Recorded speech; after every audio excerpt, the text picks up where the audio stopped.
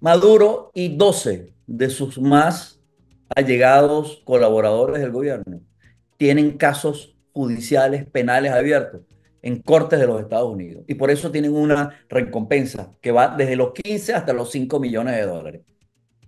Búscate en, en, la historia cuántas personas no hay. Venezuela es un país ¿verdad? que está manejado por un grupo de delincuentes y toda la desestabilización que existe en Latinoamérica está planificada desde Miraflores.